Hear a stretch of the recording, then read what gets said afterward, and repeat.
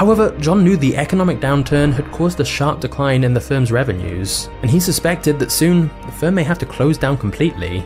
And yet, John wasn't worried. His two years of experience in the job had given him a huge amount of confidence, and so John was already planning his biggest move yet. John D. Rockefeller was ready to start his own company.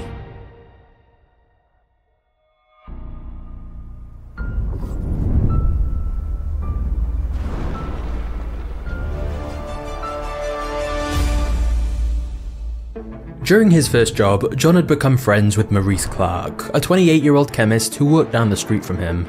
Even though John was just 18 years old at this point, he'd developed a good reputation as a bookkeeper in Cleveland, and one day Maurice told him he was planning on starting a produce business, and suggested that they partner up together.